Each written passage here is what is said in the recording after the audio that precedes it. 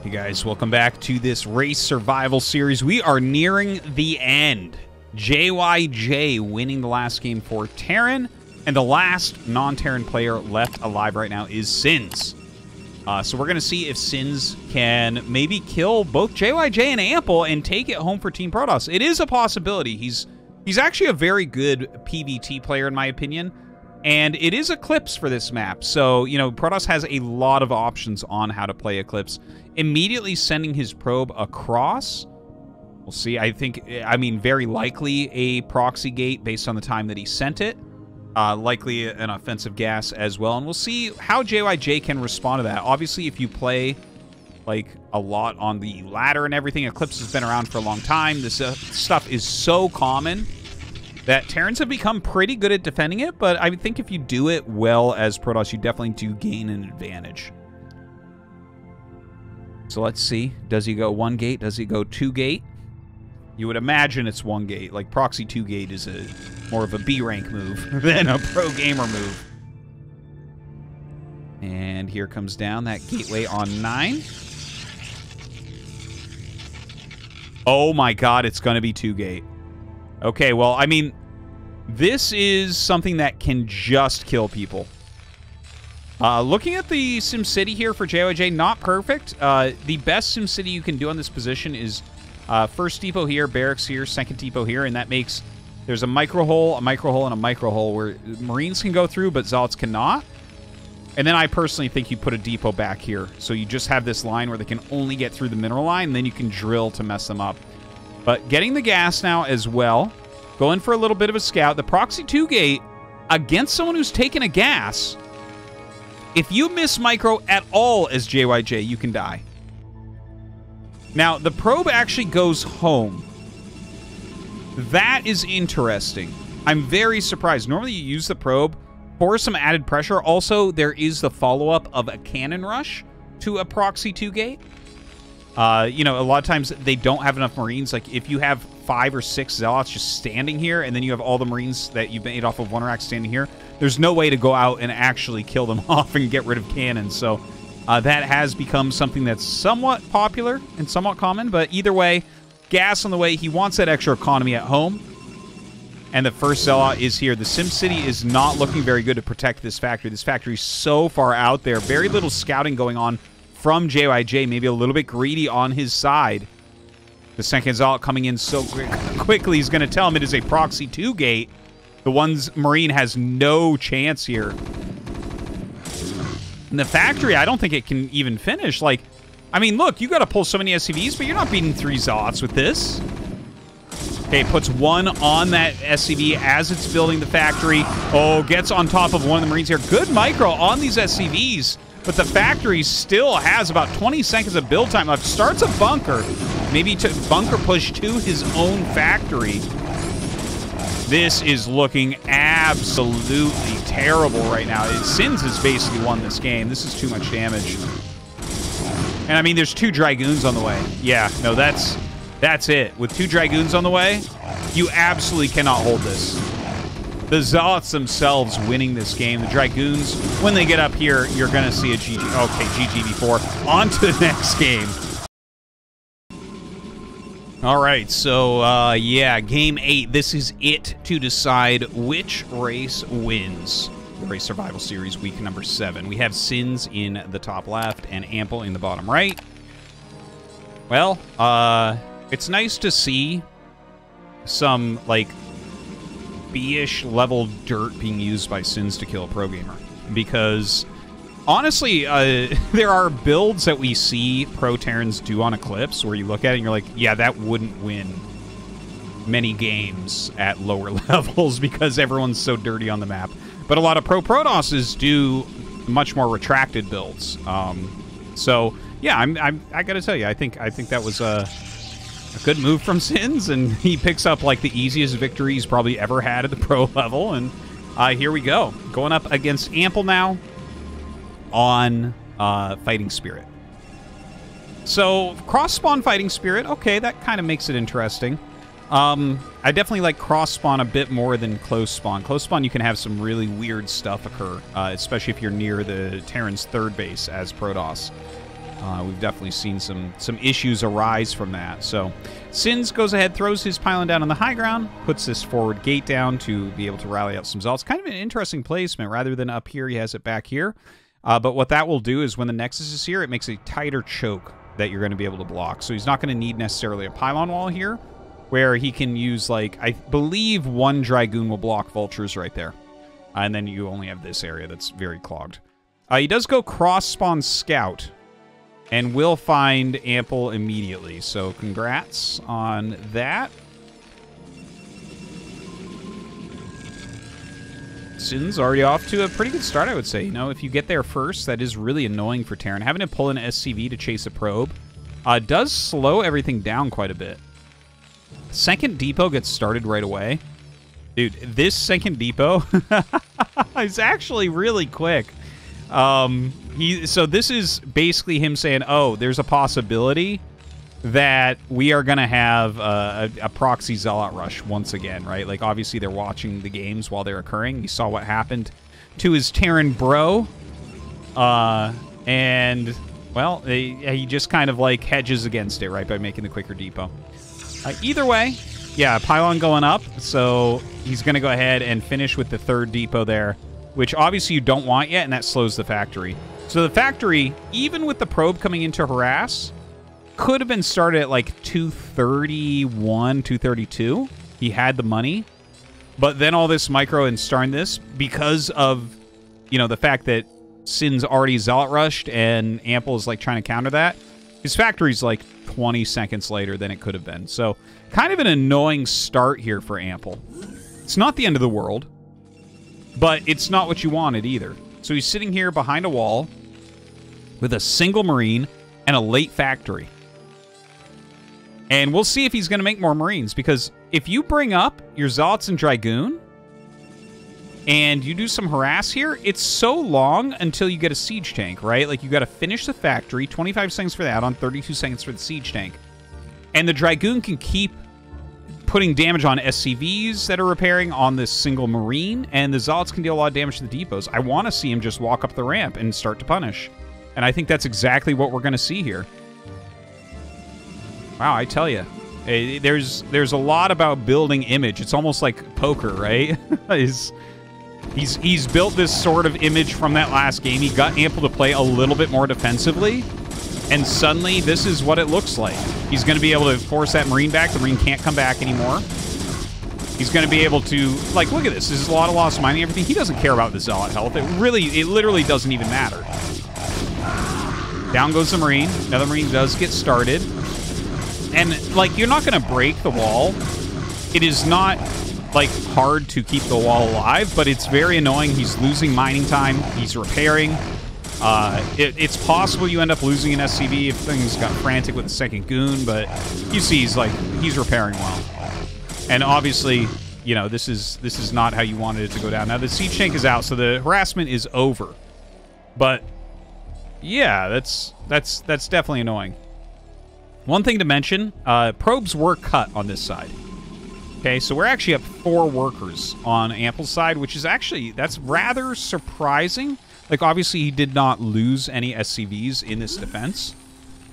Uh, but I did not expect him to be up, like, three to four workers at this point. That doesn't seem like, um, too normal for the situation, but with how quick the Nexus is, uh, we should see Ssinz catch up, actually, rather quickly, I guess, if Ample cuts anything else, like to get more factories up more quickly or something like that. I guess he actually, yeah, he lands the command center before the Nexus finishes. So, yeah, you know what? It all works out uh, for Ample there.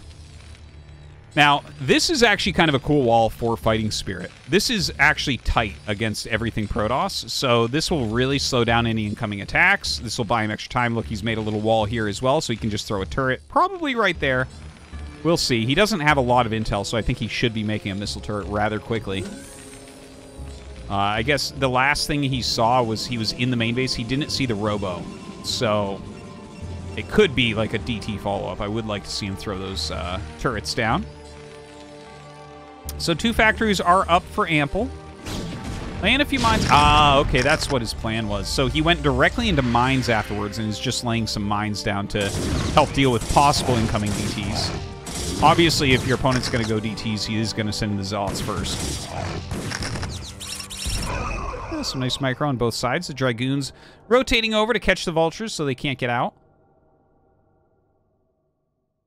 Yeah, very annoying. Gonna end up losing a Vulture right there. In fact, might lose the second one. Oh! Oh my god, one health. exactly. And Vulture Speed is on the way. So I think Ample is going to look to mix things up. Like, uh, run his Vultures around, see if he can find some damage. I don't think he'll be able to, right? So we have, like, this little small choke. He's starting to build some more buildings here as well. The third base is starting to go up. Pylon wall incoming. And it is two-gate Dragoon that he's just kind of sitting here producing on, as well as observers. So, yeah, I'm not sure if you're going to be able to find any damage here as Ample, but I always like when a Terran player gets that speed upgrade relatively early on.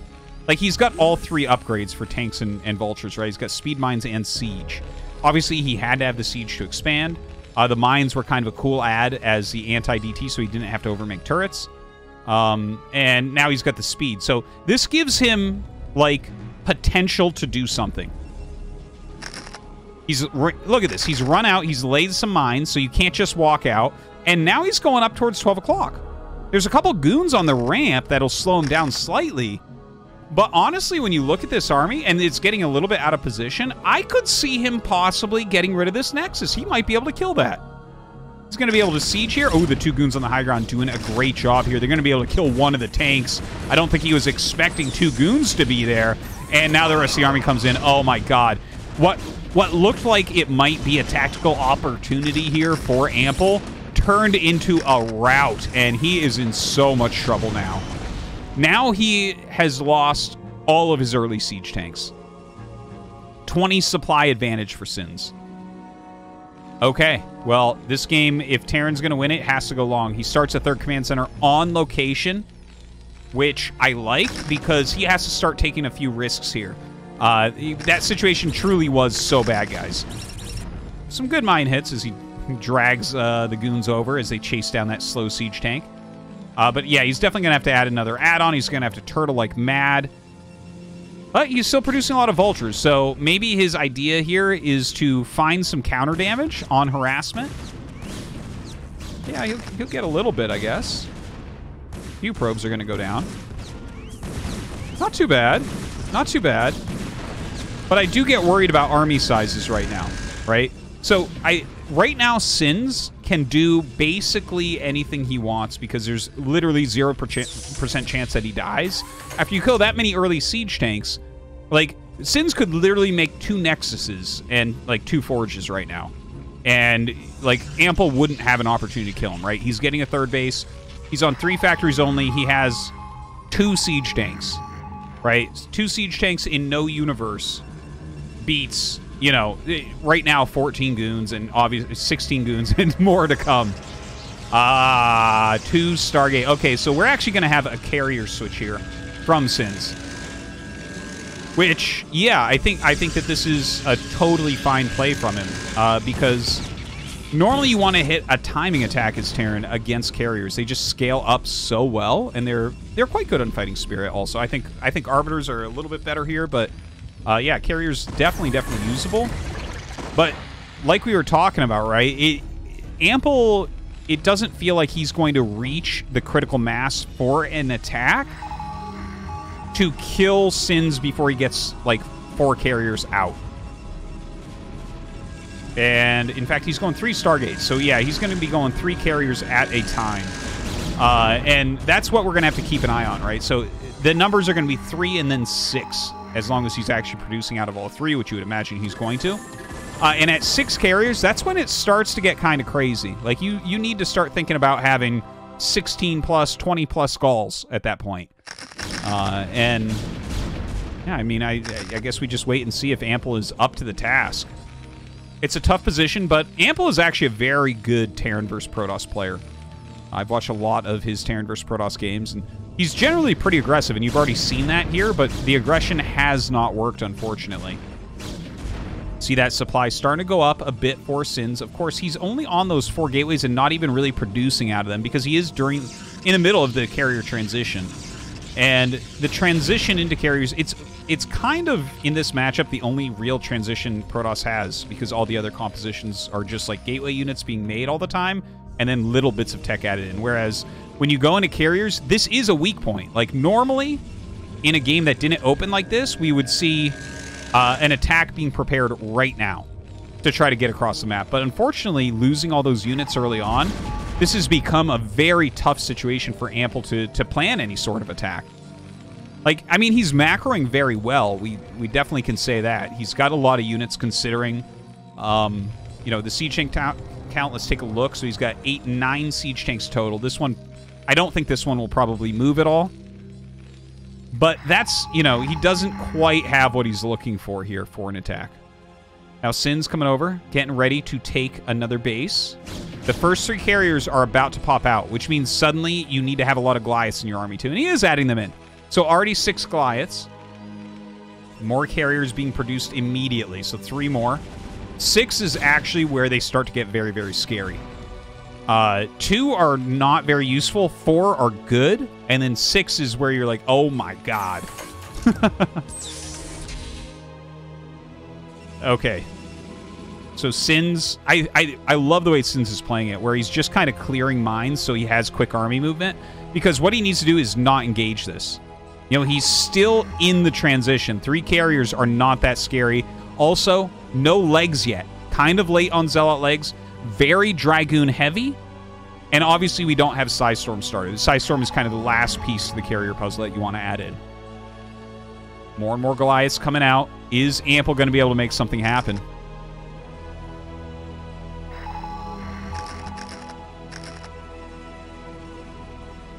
That is a big Protoss army. Maxed out now is Ssinz. Still making those interceptors. Still waiting for three carriers. So, again, this is not the strongest army. And of course, as Terran closes to max, they can definitely fight against this. You're not really afraid of the Zealots and Dragoons, right? It's it's the carriers that you're a bit more afraid of. And obviously, Goliaths are not as good against ground as the other units. But here we go. Siege is up. A huge battle is taking place right now. The Goliath's coming forward a little bit. Does have a single vessel in here. No energy for a defense matrix as of yet. The Vulture's almost gone at this point. No Zealot legs, so the Zealots are getting eaten up pretty darn quickly. And the Dragoon arc may just be enough. The siege count never really hitting that mass that you're looking for and very unfortunate engagement in a lot of ways. Like, a lot of the Gateway army does go down, but only one siege tank remains. And in fact, he's just going to continue to fight, because why not? Uh, it looks like his interceptors, though, are mostly eaten up, so obviously, like, three hurt Dragoons do not beat this. Starting to pull back now. Three more carries are out, three more on the way. Comes up to this high ground. And he has to be careful. This is the moment where Ample is really trying to get that damage done. He does not have a very good army right now, but Ssinz needs time to get his interceptors back to actually fight this. Also get a few rounds of those units out. More Goliaths and tanks coming over. Ssinz right now has to be feeling a little bit hunted. His carrier is going to fly away. He may end up giving up this base and just massing up uh, because his carrier count is going to be very, very scary. He's almost to nine. And like I mentioned, at six they start to get scary if you have interceptors, which he doesn't quite yet. He's still working on that. Uh, but when you get into nine, it's like, okay, Terran really needs two full groups of Goliaths at this point. All right, they're coming back now. Down goes... Uh, oh, very nice D-Matrix on that forward Goliath. Uh, down goes the uh, Nexus. I don't know why I couldn't think of the word Nexus there for a moment. Ample does set up a fourth base behind this. But now we have speed lots on the field. Now we have a lot of gateway units coming. It's actually only six gates. So the gateway army is not all that big. I love the mines that are being laid. Ample is doing a good job of kind of controlling a lot of the movement here, and the fact that he killed the fourth base is so important. If the fourth is up, that's where you're going to see suddenly Ssinz gets into Storm and adds more gates, and everything starts to really go for him. We have eight, nine carriers out. That is a lot of damage output. Plus two attack on those interceptors already.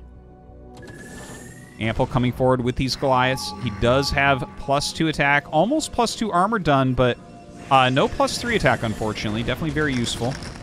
Not that many Siege Tanks. Has some Vultures in here as well. The Zealot's going to start to get on top of everything. Starting to target down the Siege Tanks here with those carriers. And as the Siege Tanks fall, the ground army becomes more and more valuable here for Ssinz. Oh, only one tank remains. Once again, the same type of situation as the last battle. The interceptors are getting shot up quite a bit, so he chooses to walk back. Obviously, the 0-0 goons against 2-2 Goliath tank are going to have a little bit of a harder time. You definitely need your carriers putting in their damage as well. You know, just straight gateway units don't do much for Protoss after the early game. Uh, you really need spellcasters in there, whether it's Arbiters or High Templars, or, of course, carriers that can shoot with interceptors. All right, another base going up for Ample. I gotta say, Ample is putting out a really nice game. After losing those early Siege Tanks, I was worried about him, but Ssinz kind of gave him some time to get his stuff together by going into carriers. You know, he went into his own transition there. So suddenly we're looking at this, and this is a lot of Goliaths to fight against. We still don't have a Templar Archives. Just something to point out here. So, unable to get into Storm, which is so important. You kind of treat the Goliaths as if they are Hydras in a in a PVZ, right? Like, they all get clumped up to fight the carriers, so you can put a ton of damage out with those Storms. Right, Dragoon coming around the side, kind of scouting what's going on. He's going to know now that there are two bases taken down here. Look at this. He's just adding more command centers. Has a Vulture up at that top right as well. I actually am starting to look at this. I think Ample is going to end up winning this game. He's done such a good job, but the carrier count is really frightening. So we're going to see what they can get done. Because, like, look, they're going to this high ground. This is dead. And the Goliaths have to really commit here to push the carriers back, or this base dies too. So he's coming up. That is a lot of interceptors right now. 10 carriers just going to town. And look at this, abusing the mobility of uh, the terrain here. Carriers, of course, with vastly superior mobility. Goliath's coming back around, though. A bit more firepower at the moment.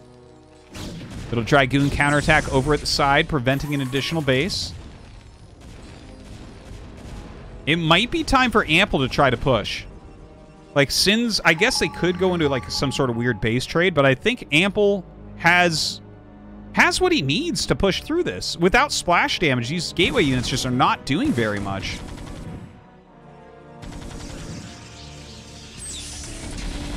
Right, comes forward right now and starts to engage a little bit on those Dragoons.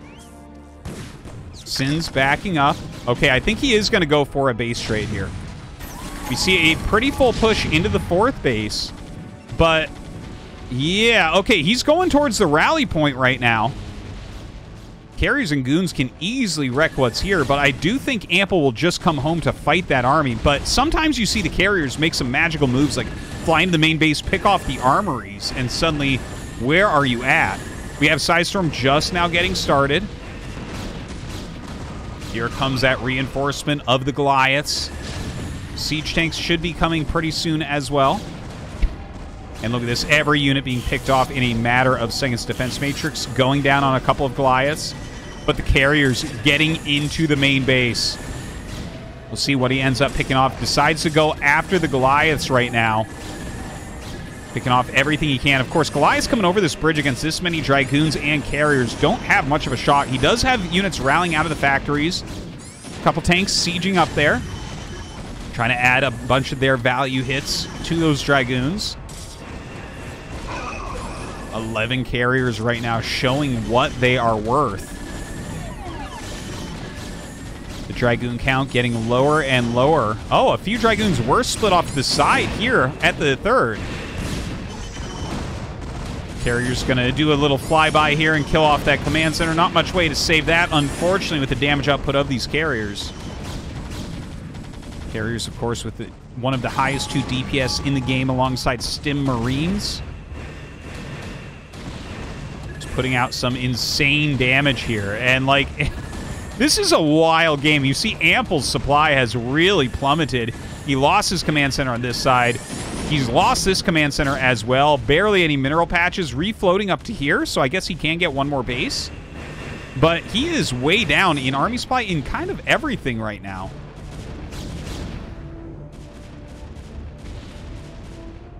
Carriers flying back home for the defense. Oh, Psystorm's starting to go off. You know what, guys? Protoss may not have had the best run through here, but at the end of the day, I think they are going to be the only ones left over. Ssinz taking down the last couple Terran players. Uh, very, very impressive stuff. Really, I mean, the it was interesting to see the carrier choice once he held. Like, I guess he knew he could not die to a timing attack, and and that was enough for him to pull the trigger there on the three Stargate carrier. Uh, but Ample, yeah, I mean, with this base up and mining, that is it. GG Protoss wins week seven.